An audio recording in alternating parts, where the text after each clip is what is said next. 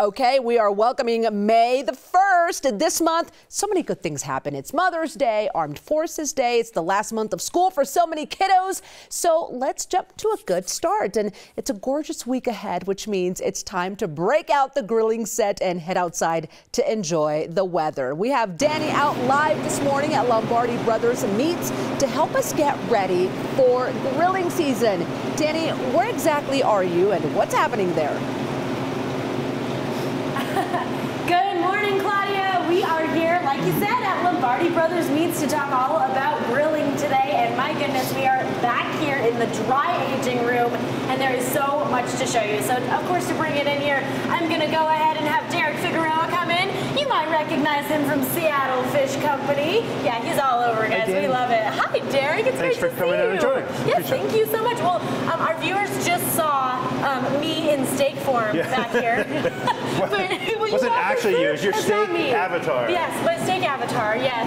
Um, but this is the dry aging room, and it's so impressive to see exactly what goes into dry aging our meats. This is something that a lot of us will order at a restaurant, of course, but don't really know what's happening behind the scenes. So walk us through it. Yeah, dry aging is a really cool way to sort of treat meat to elevate uh, both tenderness and also flavor. So if you think about a traditional meat or any sort of a, a steak, it's going to come in uh, like a subprimal. So that's what these are. Uh, typically, you know, maybe the steaks you get at a restaurant might be, I don't know, uh, five days old, right? Okay. At, at Lombardi Brothers, we're not going to sell anything that's not um, 21 days sort of Wow. dry age. So that's Yeah. sort of wet age.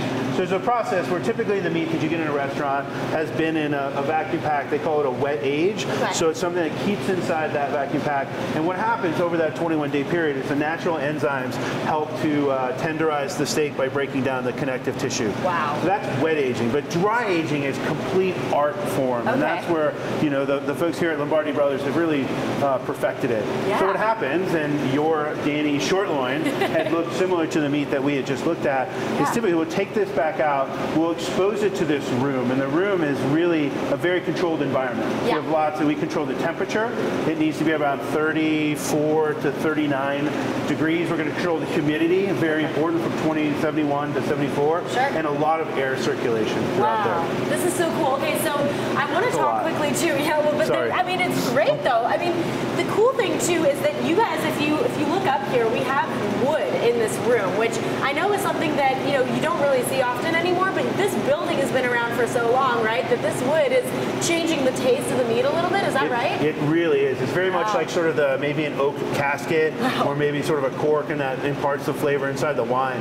So this is an older building that was used for harvesting and processing. Yeah. And they have these wood beams that were carrying sort of the um, sort of the conveyance for the carcasses. Cool. But that's really it's seasoned and it gives imparts so much flavor Wow. into the steaks. It's so impressive. Well, I am really impressed by what you guys are doing here. This is all really, really amazing. Uh, quickly, too, in the last 30 seconds, I gotta ask about this guy because this guy looks a lot different than this one. What's what's being made here? Yeah, so it's going to be sort of a flank steak. Cool. Typically, when you dry age a product, what you're doing is you're releasing a lot of the moisture, so the moisture evaporates from the muscle, concentrates the flavor. It provides a little bit of a bark over the top of it, and that allows those natural enzymes to break it down. So, uh, you know, in the next section, I think we'd love to show you, hey, let's taste one that has not been dry aged, one dry and you can really taste sort of the difference. So these guys are uh, are heading out, picking up some of that dry aged flavor, Yeah. uh, and tenderizing. Amazing. Well, Dad, thank you so much. That bark he was talking about, too, guys, is going to be cut off later and given to our dogs. That's something that's pretty cool you can do here. All right, everybody. Well, like Derek just said, we're going to be grilling up some of these steaks later and tasting them, tasting the difference between a dry age and maybe one that's a little bit fresher. All right, guys, for now we are live. Claudia, I'm sending it back to you. I'm sure your mouth is watering. It totally is, Danny. Thank you so much. Welcome back, everybody. All right, we're here live at Lombardi Brothers Meats, and of course, I'm still here with Derek. And Derek, we love you, but we're gonna talk to Scott here, okay? Scott's the expert. I'm going to clear You're out. fine. So I'm you're going to stand over here and pick up some tips. There you go. Grilling tips myself. Absolutely, let's go for it. Well, we have Chef Scott here to tell us more about grilling. It is grilling season finally. Okay, Chef, tell us how we're supposed to take the dry age that we just saw and all of those incredible meats in the back and pop them on the grill.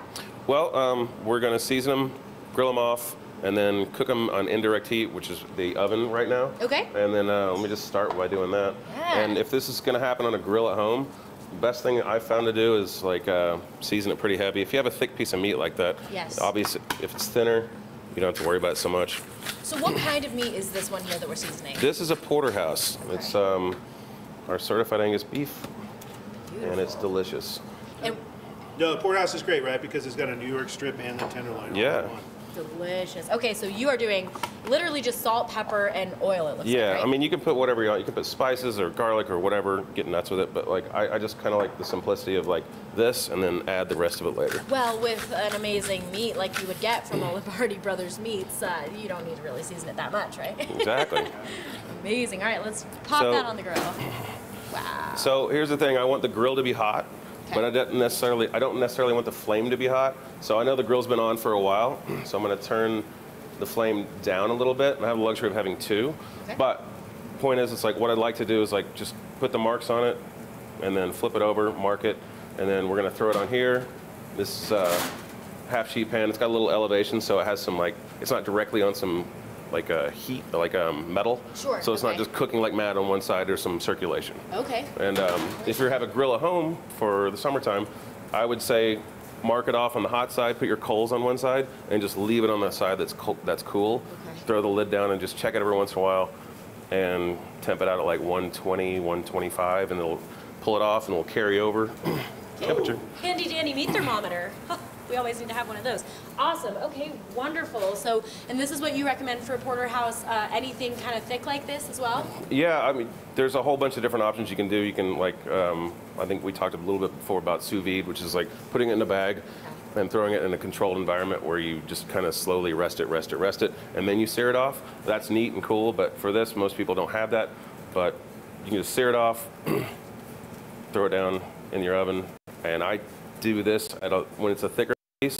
It's uh, about a little less than 350 and it takes about 30, 35 minutes.